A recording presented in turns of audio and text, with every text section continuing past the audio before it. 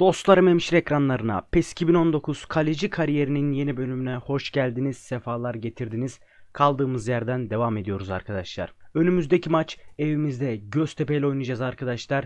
Ligde kaldığımız yerden devam ediyoruz. Onun öncesinde hemen hatırlatmak isterim ki bundan önceki iki maçı arkadaşlar atladım. Hoca kadroya almadı ve şu anda 20 puanla 14. sıradayız arkadaşlar. Durumumuz bu şekilde ve Erzurumspor'la 2 yıllık sözleşmemizi aldım arkadaşlar. Tabii ki daha erken gidebiliriz ama hani devre arasında gitmek gibi planım yok. Dadaşlarla kaldığımız yerden sonuna kadar devam edeceğiz. Kariyerin başında, serinin başında da söylemiştim. Bundan sonra böyle çok fazla takım değiştirmeyeceğim. Daha gerçekçi bir şekilde oynayacağım demiştim arkadaşlar. O yüzden mantıklı bir şekilde ilerleyeceğiz. Şu an Göztepe maçında hoca bizi 11'e aldı. O yüzden Göztepe maçına doğru geçiyoruz. Kalemizde bakalım bu maçta neler yapacağız.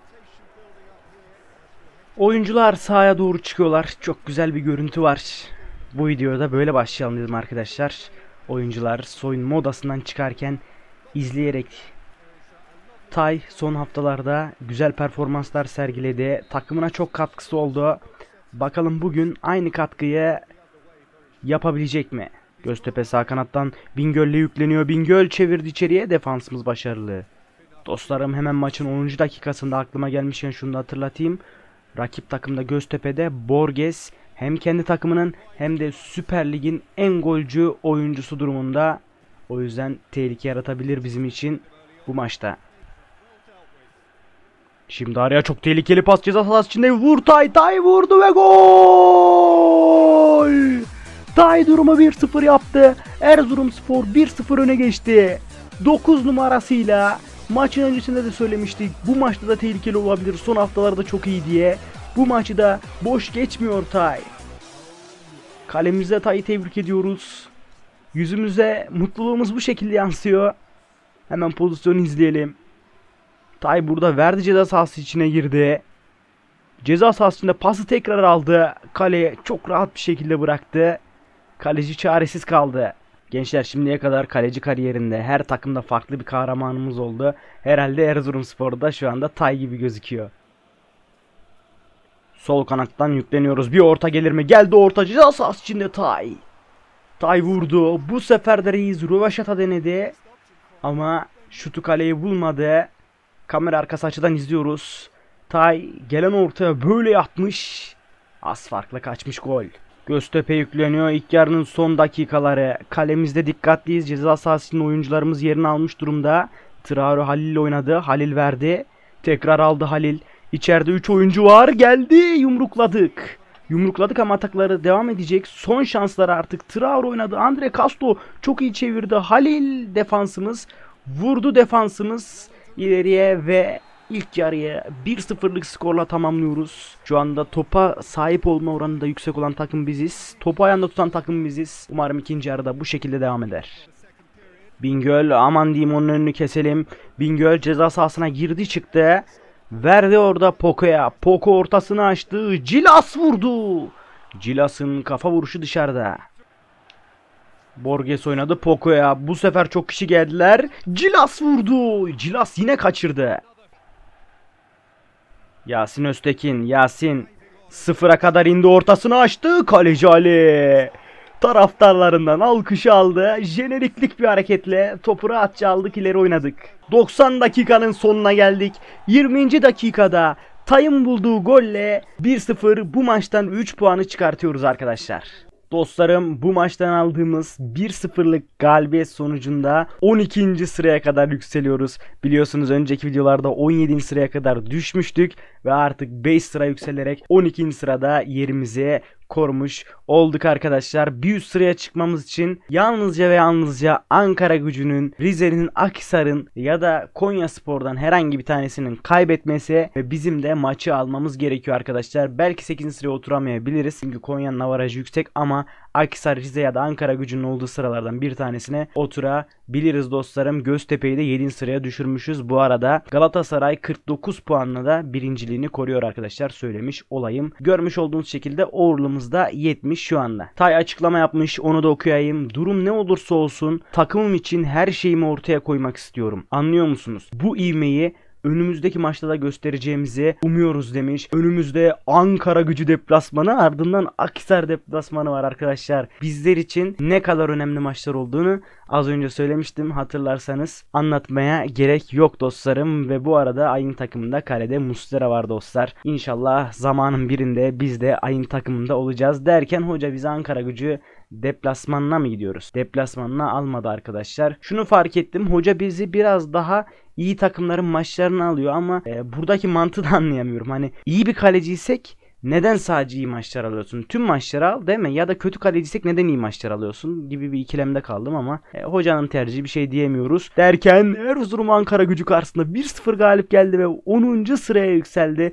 Önümüzde Aksar maçı var arkadaşlar. Görüyorsunuz. Görüyorsunuz. Aksar maçından eğer 3 puan çıkartırsak en kötü 9.yüz. E, 8. hatta 7. olma ihtimalimiz yok ama 8.liğe bile oturma ihtimalimiz var. O yüzden Akisar maçına inşallah alır diyoruz bize. Bakalım o maçta evimizdeyiz. Hoca yine almadı. Herhalde Bursa maçını alacak. Umarım bu maçı da takımımız alnının akıyla atlatır diyoruz. Evimizdeyiz. Ne yazık ki ne yazık ki 1-0 yenildik. Çok üzülerek 11. sıraya düşüyoruz arkadaşlar. Yapacak bir şey yok. Önümüzde Bursa maçı var. Deplasmana gideceğiz. 23. hafta yine yedek kulübesindeyiz. Yine yedek kulübesindeyiz. Direkt maçın sonucuna bakacağız. Bakıyoruz ve beraberlik var. Olsun güzel. Bursa maçından e, 1 puan çıkarmak iyi. Her ne kadar Bursa 16 sırada olsa da e, yine de kadrosu kötü olmayan bir takımdı ve 11. sırayı korumuş olduk arkadaşlar. Galatasaray deplasmanındayız ve dediğim gibi yine bizi zor bir maçı aldı. Bu maçta 11'e girdik arkadaşlar. Girmeye başardık. Önümüzde Trabzon maçı var. Galatasaray maçından sonra bakalım neler olacak. Bu maçtaki performansımız o maçta 11'de olup olmamamızı etkileyecektir muhtemelen arkadaşlar. Bakıyorsunuz kadroya görmüş olduğunuz şekilde Galatasaray'ın kadrosu. Galatasaray'ın kadrosunda değişiklikler var mı diye bakıyorum. Göbek'te yeni bir oyuncu görüyorum arkadaşlar Galatasaray'da. E, Deja diye bir oyuncu görüyorum. Onun haricinde mesela Donku stoper almış. Mudat, e, Erender yok. Çift santrafor çıkıyor Galatasaray. 2 göbek, 1 defans orta saha ve 5 defansla karşımıza çıkacak Galatasaray. İlginç bir taktik gerçekten Fatih Terim'den arkadaşlar. Mehmet Özdilek her zaman bildiğiniz gibi aynı kadroyla çıkıyor. Haydi bakalım diyoruz arkadaşlar. Yavaştan maça doğru, derbiye doğru. Derbi demeyelim ama bizim için derbi olsun. Hadi bakalım derbiye doğru geçelim arkadaşlar. Deplasmanda arenadayız dostlar. Yavaştan sahaya doğru çıkıyoruz. Taraftarlarımız bizi yalnız bırakmadı. Galatasaraylı oyuncular da alkışlıyor her iki takımı da. Erzurum Sporu, Erzurumları genel olarak tüm takımlar seviyor arkadaşlar. Fenerbahçe deplasmanda da Fenerbahçeli taraftar, taraftarlar tarafından Erzurumlu taraftarlar alkışlanmıştı, oyuncular alkışlanmıştı biliyorsunuz. O yüzden bu takımda olduğum için mutluyum. Umarım bu maçtan da rahat bir şekilde en kötü bir puanla çıkarız arkadaşlar. Eren derdi yok tehlikeli geliyor. Eren derdi yok birebir pozisyon Eren. Galatasaray 1-0 öne geçti arkadaşlar. Ne yazık ki Eren'in golünü önleyemedik. Deplasmanda çok erken bir gol oldu. Tekrar izliyoruz. Burada Eren'e çok güzel pas. Defans oyuncumuzun önünden geçmiş. Sadece bakmakla yetinmiş. Ve ben de biraz paslanmışım arkadaşlar. Top kaleye gelmeye gelmeye. Belki de önleyebileceğim bir pozisyon olabilirdi. Kötü pozisyon almışım. Özellikle burada. Durum ne yazık ki 1-0 şu anda. Dostlar özellikle şu dikkatimi çekiyor. PES 2019'da kalecilikte bu sene daha zor. Manuel kalecilik özellikle çok daha zor geliyor bana bilmiyorum önceki senelere göre. Fark ettiyseniz şu anda seride iki tane bu tarzda yediğim gol var arkadaşlar. Çok zorlanıyorum gerçekten manuel kalecilikte bu sene. işi daha da bir zorlaştırmışlar. Eren derdi yok. Yine bizle karşı karşıya kaldı Eren. Defansımız orada. Müdahalesini yaptı. Uzaklaştırdı bu sefer arkadaşlar. Allah'tan bu sefer daha tehlikeli pozisyonla karşılaşmadık. NDA'ya tekrar oynadı. Muğdat Kaleci Ali. Kaleci Ali bu sefer geçit vermiyor. Muğdat. Galatasaray yine defans arkasına top sarkıttı. Muğdat Çelik. Muğdat vurdu. Golü buldu Muğdat. Muğdat golü buldu. İnanılmaz bir şekilde defans arkasına top çıkartabiliyorlar. Neden birinci olduğu Galatasaray'ın bariz belli arkadaşlar. Eren Derdiyok'la Muğdat bizim defansı poşet etti arkadaşlar. Harbiden poşet etti. Hiçbir şekilde önleyemiyoruz. Orada iki defans orada. Bir tane de burada üç defansın arasından top çıkıyor. Bu pozisyonla hiçbir po- e, kalede pozisyon hatamın olduğunu düşünmüyorum arkadaşlar. Bu golde yapabileceğimiz bir şey olduğunu düşünmüyorum şahsen. Önceki golde hatalıydık evet ama ne yazık ki bu golde elimizden bir şey gelmiyor. Üzücü ama durum 2-0 olduğu 2 gol gördüm kalemde. Bir kalecinin başına gelebilecek en kötü şeylerden bir tanesi. İlk yarı 2-0'lık skorla bitti dostlar. İkinci yarıya doğru geçiyoruz. 87. dakikada sağ kanattan tehlikeli geldik. Orada topu çevirdik. Ceza sahası içine bir orta. Dönen pozisyon artık bizim için son atak olacak muhtemelen. Derken Maicon kesti arkadaşlar. 90 artı 1 maç bitti bitecek. Birazdan bitirir hoca maçı muhtemelen. Fernando kapmıştı topu ve maç bitti. Üzülerek 2-0'lık bir skorla tamamladık maçı. Harbiden çok üzgünüm ama elimden bir şey gelmiyor ne yazık ki arkadaşlar. İlk yediğimiz golde ciddi hatam vardı farkındayım. Ama ikinci golde yapacağımız bir şey olduğunu düşünmüyorum. Her kalecinin hatası olur. Serinin başında biraz hatalarım olabilir. Maruz görün arkadaşlar. Bu seferlik diyorum ve ne yazık ki 10. sırada yerimizi koruyoruz arkadaşlar. Şu an Rize ile aramızdaki fark 4 puan. Altımızda Ankara gücü var. 3 puanlık bir fark var arkadaşlar. O yüzden bundan sonra kolay kolay puan kaybı yapmamamız lazım. Önümüzde Trabzon maçı var. Evimizde oynayacağız bu maçı. Ve yine ilk 11'deyiz. Hoca bize yine güvendi. İlk 11 aldı. Böylesine önemli bir maçta. Görüyorsunuz hani hani PES öyle bir oyun ki direkt kalecinin ne kadar üzgün olduğunu, kalecimizin ne kadar canının sıkıldığını, hatta kaptanın bizi telafi edişini falan gösteriyor. Mehmet Özdirek bariz bir hayal kırıklığı yaşıyor. Şampiyon olmayı istiyorduk ama açıkçası bu kolay kabul edecek bir şey değil diyor. Şampiyon olmak bizim için ütopik bir durum ama en azından ilk 5'e girme ihtimalimizin hala olduğunu düşünüyorum arkadaşlar. Kadromuz bu şekilde. Bu sefer Tayla başlamıyor. Musi ile başlıyor hoca. Görmüş olduğunuz şekilde. Rakip takımda da ileri hatta Rodayega değil Burak Yılmaz başlıyor. Farklılık bu şekilde arkadaşlar. Gördüğüm kadarıyla isterseniz yavaştan Trabzon maçına doğru geçelim. Bakalım maçta neler olacak. Olcay Şahan içeriye Burak Yılmaz girdi. Tehlikeli olabilir. Orta açtırmayalım. Olcay ortasını açtı. Arka direkte Burak Yılmaz vurdu. Dönen pozisyon direkten Burak attı. Tehlikeyi sezmiştim ama ne yazık ki yine önleyemedik arkadaşlar ve herhalde en çok gol yediğim videolardan bir tanesi olacak. Tekrarını izleyelim direkt yorumumuzu yapalım. Kaledeki pozisyonun alışımıza bakalım. Olcay çekti. Burak Yılmaz'a arkaya çok güzel bir orta. Uzandık ama elimizden hiçbir şey gelmiyor. Ne yazık ki. Dostlar görüyorsunuz. Farklı bir açıdan görelim.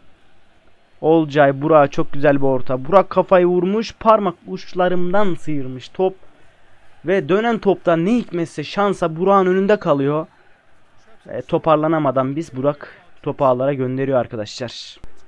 Kaptan ceza sahasının ortası bir kafada bizden geldi ama kalecide kaldı o top. Olcay önünde boş bir alan buldu.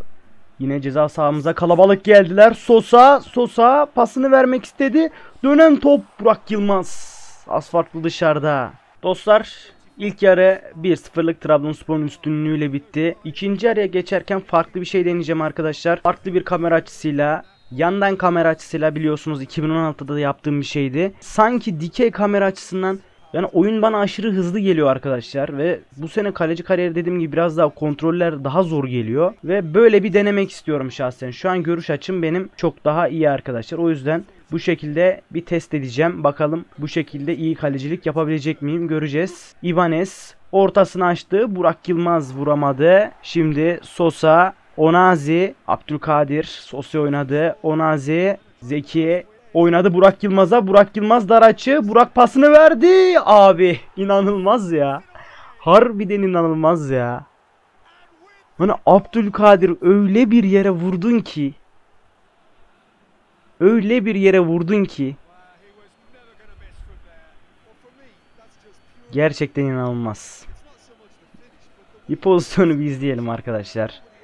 Burada hafif öne çıktım. Geri geldim kaleme. Vurdu. Uzandım. Uzandım yani. O şutun hızına rağmen uzandım. Ama abi imkanı yok. Çıkartamazsın bu şutu. Harbiden çıkarılabilecek bir şut değil. Bakın şu açıdan daha iyi göreceksiniz. İnanılmaz ya. Abdülkadir fileleri deldi geçti. Burak verdi kaçtı Burak Yılmaz. Kalede dikkatliyiz. Bu sefer çıkartacağız inanıyorum. Burak Yılmaz. Burak çekti. Pasını verdi. Abi yine çıkartamadık. 3-0 oldu. 3-0 oldu arkadaşlar. Gerçekten büyük hayal kırıklığı yaşıyoruz. Olcay vurdu bu sefer de. Tekrarını izleyelim. Burak. Şov yaptı Burak. Verdi pasını. Olcay yakın mesafe. Yetmiyor ki arkadaşlar. Reflekslerimiz yetmiyor.